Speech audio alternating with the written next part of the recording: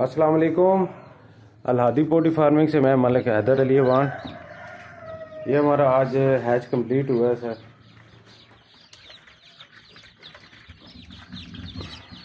और यार ब्रीड का।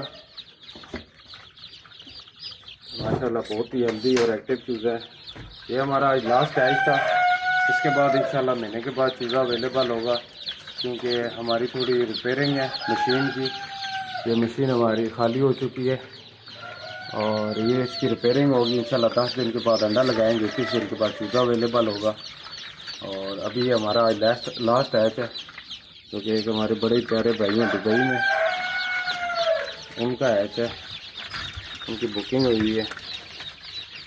और ये देखें, चूज़ा निकला हुआ है, और बहुत ही हेल्दी और एक्टिव चूज़ा जो कि आपके सामने है। बस के पीछे वाले ऊपर जिस भाई को भी चाहिए, वो चूज़ा एक महीने के बाद इंशाल्लाह अवेलेबल होगा एक डेढ़ माह के बाद, क्योंकि बीच में कुछ बुकिंग भी है ऑलरेडी एस भी मिलेगा साथ में, और आर आई आर भी मिलेगा। और ये चूज़े आज के, हमारा है जो कंप्लीट हुआ है। आज डेट क्या है कन्फर्म पंद्रह आज पंद्रह मार्च है इनशाला इसके बाद जो है, महीने के बाद चूज़ा निकलेगा। और बाकी हम लोग थोड़ी सेटिंग वगैरह करेंगे रिपेयरिंग करेंगे। चूज़े की क्वालिटी आप लोगों के सामने है। और आप लोग देख सकते हैं चूज़ा किस क्वालिटी में। ये हमारा आर यार ब्रीड के, और अलहमदिल्ला हमारी तैयार हो गई है एस्टलोप ब्रीड भी। मेल वगैरह हमने छोड़ दी है। इंशाल्लाह दस दिन के बाद, नौ तारीख के मेल छोड़े हुए हैं हमने।